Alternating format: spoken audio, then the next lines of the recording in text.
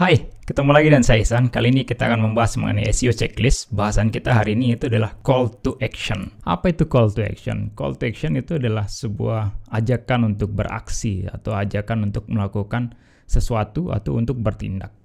Call to action memang bukan bagian dari ruang lingkup pekerjaan seorang SEO engineer. Tetapi hal ini sangat penting dan harus diperhatikan oleh semua SEO engineers. Kenapa? Karena demi menguntungkan si klien itu sendiri. Karena klien kan berharap pada konversi kalau dia jualan. Kenapa call to action itu penting? Ya, untuk meningkatkan konversi agar orang beli atau menerima penawaran kita. Ya, selain itu, call to action bisa membuat orang berinteraksi dan website kita. Dengan demikian, maka si users atau si pengguna yang berkunjung ke website kita itu akan stay lebih lama. Kenapa orang penting stay lebih lama? Karena kalau dia tinggal kurang dari 30 detik di dalam website kita, maka itu akan dihitung sebagai bounce rate. Tentu kita tidak ingin orang stay sebentar saja, semakin lama tentu akan semakin baik untuk menghindari bounce rate. By default, Google Analytics itu sudah membuat perhitungan bahwa kalau orang stay di bawah 30 menit itu akan dihitung sebagai bounce. Kalau dia di atas 30 menit maka tidak akan dihitung sebagai bounce. Itu sebabnya kenapa kita perlu orang stay lebih lama. Nah, apakah call to action bisa diterapkan di semua jenis website? Jawabannya tentu yes bisa di semua website akan tetapi jika websitenya teman-teman itu adalah website e-commerce atau menawarkan barang, produk ataupun jasa, maka call to action itu akan bersifat wajib. Kenapa? Ya tentu karena biar terjadi konversi tadi. Kemudian apa saja manfaatnya? Call to action itu ya satu menghindari agar pengunjung tidak bingung. Jadi call to action semacam petunjuk mengenai apa yang ingin diraih oleh pemilik website tersebut. Jadi dengan adanya call to action sudah jelas sekali intention atau niat dari si pemilik website mau ngapain dengan websitenya dan berharap apa dari visitor atau pengunjungnya. Nomor dua, mengarahkan pembaca ke mana mereka harus ngeklik atau membuka sesuatu. Misalkan ini orang sudah selesai membaca, kemudian kita tidak menempatkan apa-apa di bagian akhir dari artikel kita, maka tentu orang akan bingung dia mau ngapain seterusnya, selanjutnya.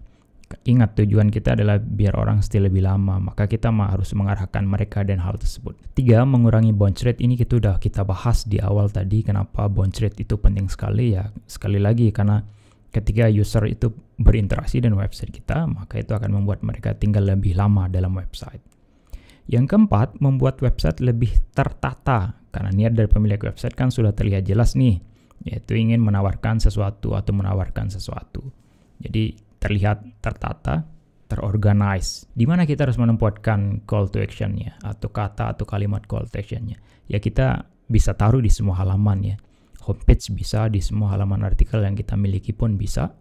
Dan nomor dua itu pastikan call to actionnya mencolok atau lebih terang daripada warna yang lainnya biar mudah diraih atau mudah dijangkau oleh si pembaca. Selanjutnya bisa di tengah artikel, bisa juga di bagian akhir dari artikel. Atau kalau dia tampilannya di desktop, untuk pembaca desktop itu bisa di sidebar kiri dan kanan. Ini salah satu contohnya primary CTA ya.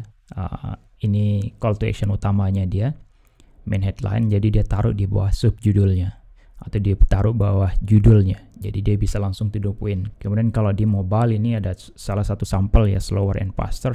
Kalau kita taruh seperti yang ada di sini ini dia agak lebih uh, slow. Kalau kita taruh di sini bottom buttons itu di bagian akhir. Nah, kita uh, bagi advice ad, advertiser itu sangat tahu bahwa bagian akhir dari artikel itu sangat penting dan konversinya sangat tinggi. Jadi penting sekali kita taruh call to action di situ.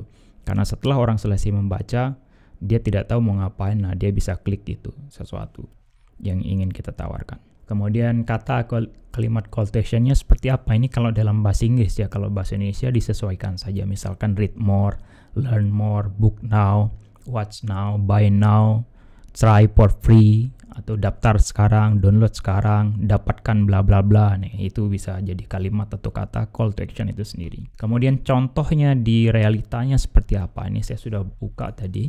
Ini SEMrush ya. Ini salah satu artikel di SEMrush judulnya What is Search Engine Marketing and How Does It Work. So ini contohnya kita temukan nanti kita akan cari call to actionnya di mana dia tempatnya. Di di bawah tadi di bawah judulnya tidak ada. Ya ini di uh, tidak terlalu tengah tapi yang jelas di jauh di bawah setelah setelah satu subjudul dia taruh action. Dia kemud kebetulan dia menggunakan try for free, get 55 plus tools to improve SEO, kemudian try for free. Ini satu, kita scroll down lagi. Ya ini choose the right keywords. Ini yang kedua, try for free lagi dia masih menggunakan kata yang sama. Kita scroll down. Ini artikel ini cukup panjang ya, jadi masih kita scroll lebih banyak. Ya ini create perfect keyword list, try for free lagi dia menggunakan satu kata saja yaitu try for free. Sampai ke bagian akhir artikel harusnya akan ada. Kita lihat. Ya ini bagian akhir dari artikelnya karena ini udah learn more about SEM. SEM. So analyze computer ads dia menggunakan konsisten menggunakan kalimat yang sama kata atau kalimat yang sama try for free. Jadi itu contohnya di realnya ya. Ini juga bisa tergolong sebagai uh, call to action ya tulisan subscribe ini tapi ini minor karena dia men kurang begitu mencolok dan tulisannya kecil kalau kita bandingkan dengan hal ini. Jadi itu dalam implementasinya ini salah satu sampelnya di implementasinya seperti apa. Itu saja mengenai SEO checklist. Sampai jumpa di video tutorial selanjutnya.